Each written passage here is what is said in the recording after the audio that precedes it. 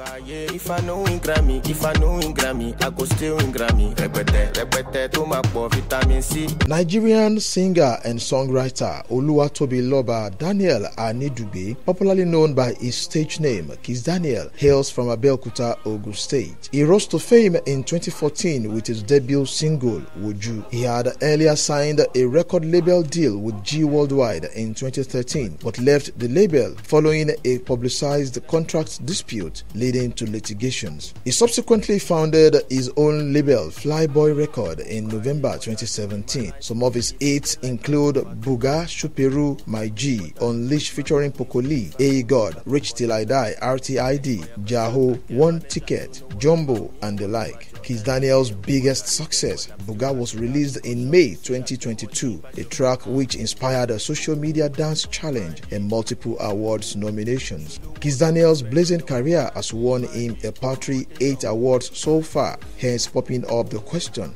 seeking to know what could be the reason a talented artist like Kizz Daniel is not winning tangible awards in the industry. Some Afrobeats enthusiasts shared their views concerning this.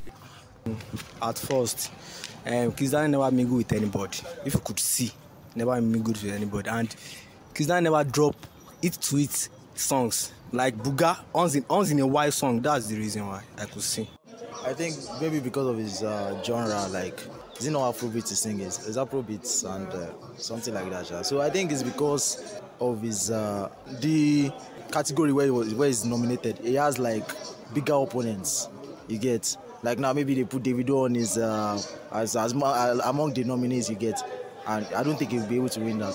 It has always been like that in the Headies Awards and um, Sound City and stuff like that. Because it's not chasing awards, yeah. So I think Kizz Daniel is just that artist that is like different from others. It's all about producing good music. Now he came out with um, it's in an album or an EP lately. The next time he's gonna drop his song, it's not good. See, it's gonna be maybe next year, early next year. He knows he knows how to go about this business. Kizz Daniel is not the clout chasing. I'm not saying those who won are clout chasers, yeah, but he's just different from others, and he doesn't care if he's not winning awards. We sincerely wish Kizz Daniel more success in the last quarter of 2023 and hope that he rakes in more awards in the year 2024.